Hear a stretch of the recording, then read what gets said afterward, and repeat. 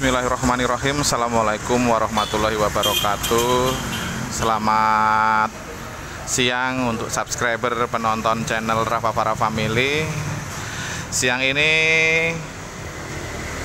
saya sengaja main ke kantor PT ALS Jalan Perintis Kemerdekaan 12 Kota Yogyakarta ya hari ini memang sengaja tidak ada pemberangkatan atau gimana atau ada kendala nanti kita tanya Pak Rohadi atau Pak Kuat ya.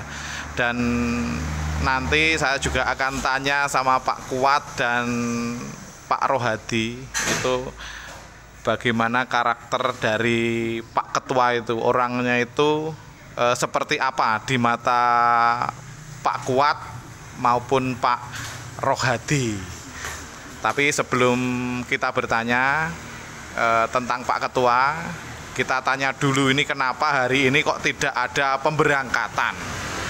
Nah, ini kita tanya Pak Kuat dulu. Oh, Pak Rohadi dulu ini. Pak Rohadi. Selamat siang Pak Rohadi.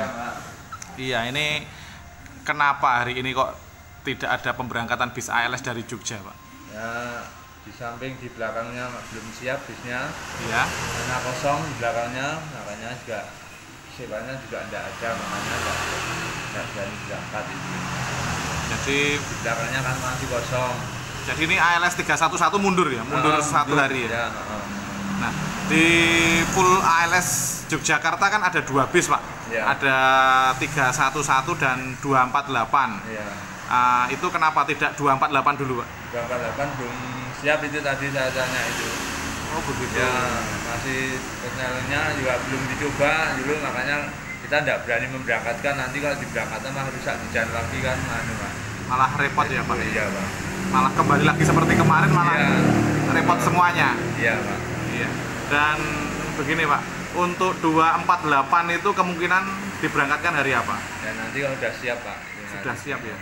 Sudah siap ya. sudah siap benar lah kita sudah sudah, sudah clear siap nah itu baru bisa nanti. Naik trip ya, Pak, ya? iya heeh, naik trip Baik. Dan untuk besok pagi tetap 311 tiga ya? satu satu Pak Pak Parinduri. Nah, untuk besok pagi sewanya gimana, Pak? Ya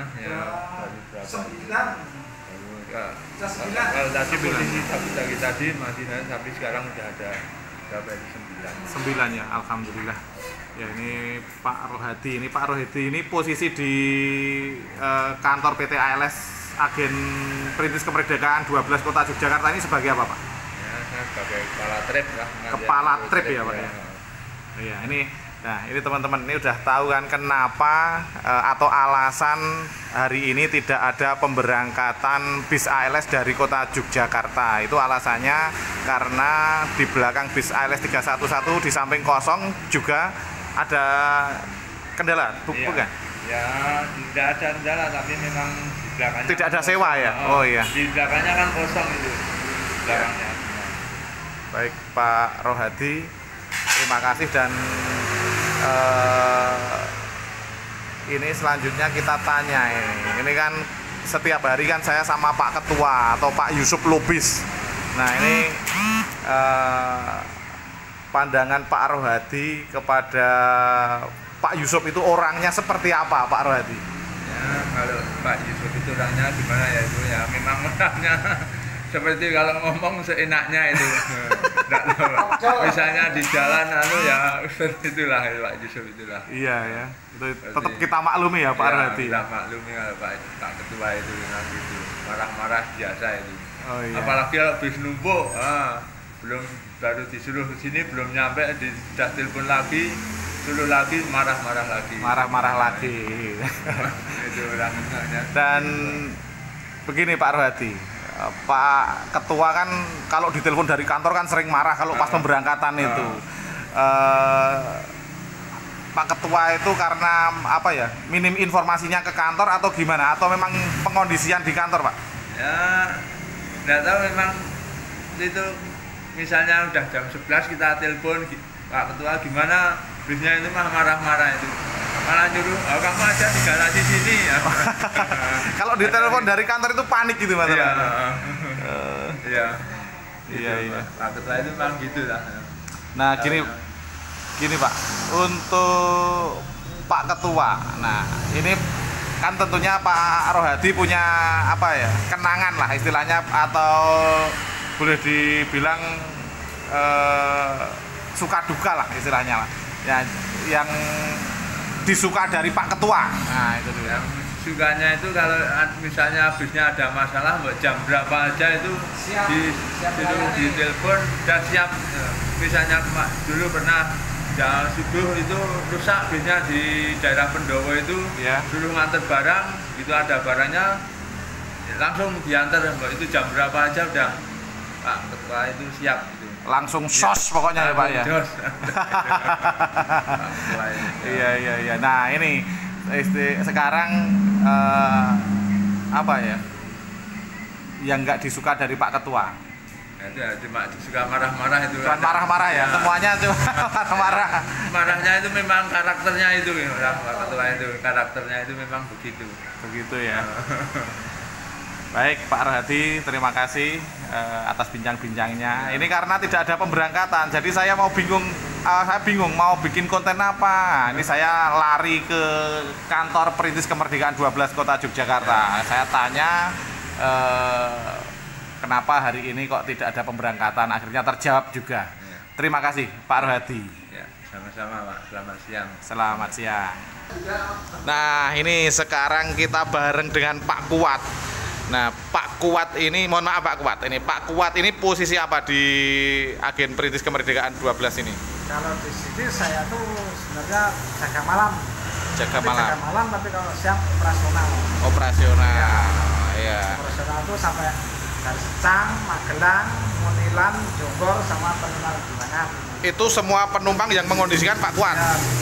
Wah, ini jadi Pak Kuat ini eh, totalitas ya teman-teman ya. Jadi dalam bekerja itu 24 jam berarti sama aja. Ya sama aja 24 jam. Udah tidur ngantuk.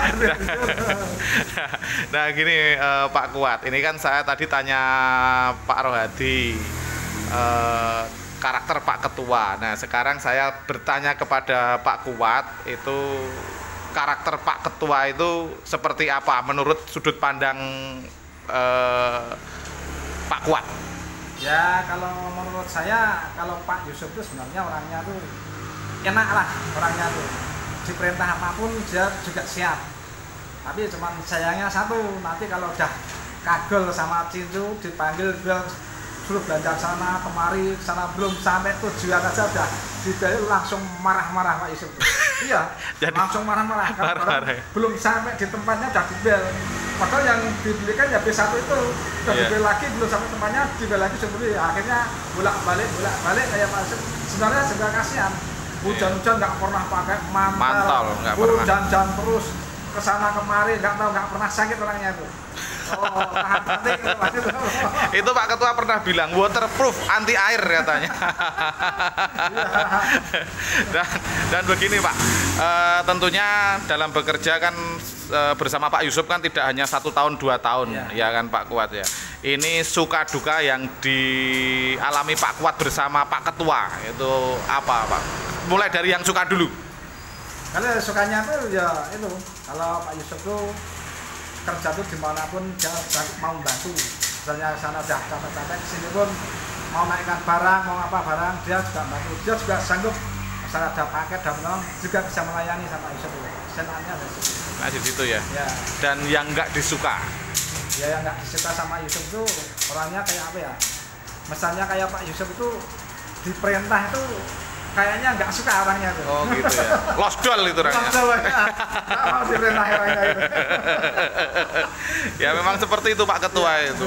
Apalagi kalau dapat telepon dari kantor, gimana Pak Yusuf sudah siap belum unitnya? Oh, itu sudah pasti. Iya, naik tensi. Ya.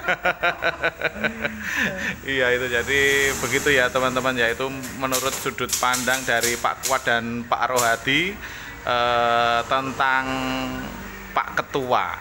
Nah sekarang begini eh, Pak Rohadi sebenarnya Pak ketua itu punya keluarga atau tidak atau kok nggak pernah uh, istilahnya istri kok tidak pernah lihat selama saya bikin video itu nggak ada.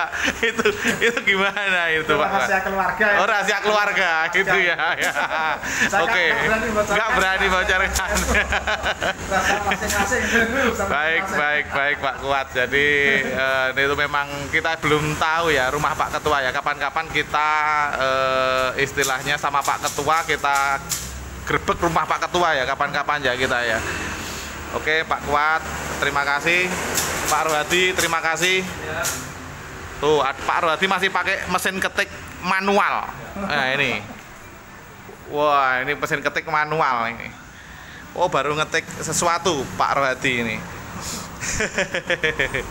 Jadi Pak Kuat terima kasih dan saya akhiri saja dulu ya teman-teman ya. Ini adalah eh, sudut pan, eh, apa ya pandangan dari Pak Ket- dari Pak Kuat dan Pak Rohadi tentang Pak Ketua. Terima kasih Pak Rohadi Pak Pak Kuat Oke teman-teman demikian video siang ini di agen perintis kemerdekaan 12 kota Yogyakarta. Bila dari kalian suka dengan video saya silahkan like, subscribe, dan share sebanyak-banyaknya. Atas perhatiannya saya ucapkan terima kasih. Salam semangat berbagi dan berkarya dari kota Yogyakarta. Berhati nyaman. Horas